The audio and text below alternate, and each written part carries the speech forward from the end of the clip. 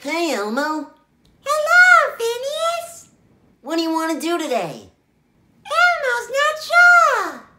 What if we play Legos? All right. Hold on. Those aren't Legos. Those are Max building blocks for little kids. But we are little kids. No, we're not. Me and Elmo are big